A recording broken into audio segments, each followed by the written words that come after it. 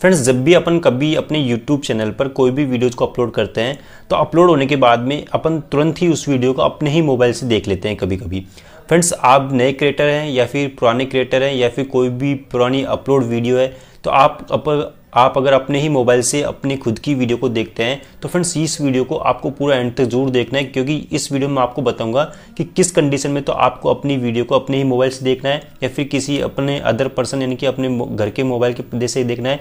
और किस कंडीशन में आपको ये वीडियो नहीं देखना है। अगर आपने ये वीडियो नहीं देखोगे तो वरना पछताओगे, क्योंकि बहुत ही इंपॉर्टेंट वीडियो है और ये जो क्वेश्चन पूछा है, आप स्क्रीन पर देख सकते हो, इन भाई ने क्वेश्चन पूछा है। आप भी ऐसे रिलेटेड क्वेश्चन पूछ सकते हो यूट्यूब से रिलेटेड क्रिएटर से रिलेटेड कि वीडियो अपलोड करने से रिलेटेड कुछ भी आप क्वेश्चन पूछ सकते हो। उस पर मैं पूरा डिटेल वीडियो लेकर आने की कोशिश करूँगा। तो फ्रेंड्स वीडियो आपको अच्छी लगी, पूरा एंड तक ज़रूर देखना तो वीडियो को लाइक कर देना।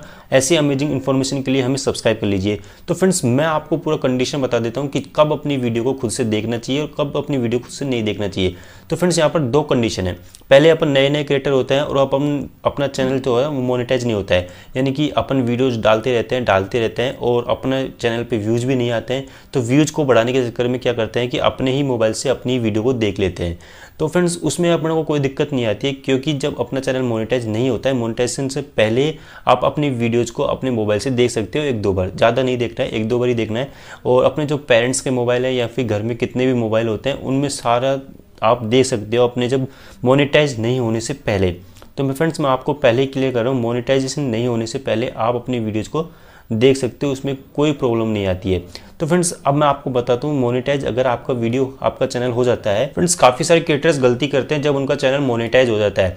क्योंकि जब चैनल मोनेटाइज हो जाता है तो फ्रेंड्स आपको ये गलती बिल्कुल नहीं करनी है, यानी कि अपने ही मोबाइल से अपनी वीडियो को बिल्कुल नहीं देखना है। आप जब भी अपनी वीडियोस को अपलोड कर दो तो उसको अनलिस्टेड रहने के बाद पहले पहले आप देख सकते हो अनलिस्टेड है प्राइवेट करने के पहले पहले देख सकते हो। लेकिन पब्लिश करने के बाद में आपको अपनी खुद के मोबाइल से अपनी वीडियोज़ को बिल्कुल भी नहीं देखना है। गलती से एक दो बार ओपन हो जाती है, और कोई दिक्कत नहीं है। लेकिन आप अगर हमेशा ही एक गलती करते रहोगे तो आपका चैनल डिमोनेटाइज हो जाएगा।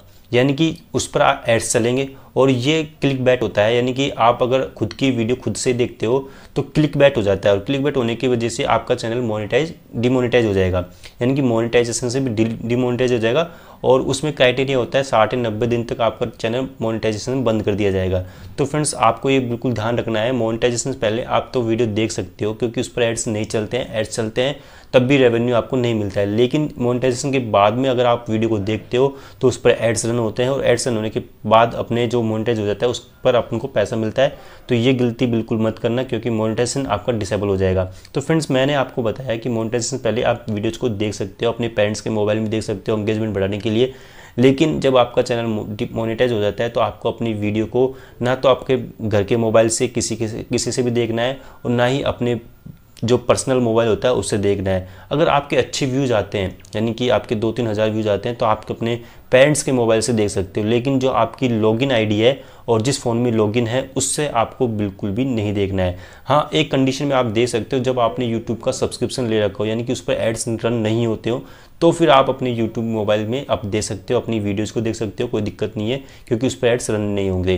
तो फ्रेंड्स मैंने पूरा आपको डिटेल बताया। ऐसे ही अगर आप क्वेश्चन पूछते हो क्रिएटर से रिलेटेड तो मैं उस पर डिटेल वीडियो ला सकता हूँ। लाने की कोशिश करूँगा तो फ्रेंड्स वीडियो में आपको मैंने कंप्लीट बता दिया कि कब आपको अपनी वीडियोज़ को देखना चाहिए और कब आपके अपनी वीडियोज़ को नहीं देखना चाहिए। तो फ्रेंड्स वीडियो से अगर आपको थोड़ा सा भी इन्फॉर्मेशन मिला हो तो वीडियो को लाइक कर दीजिए और चैनल पर नए हो तो चैनल को सब्सक्राइब ज़रूर कर दीजिए। Thank you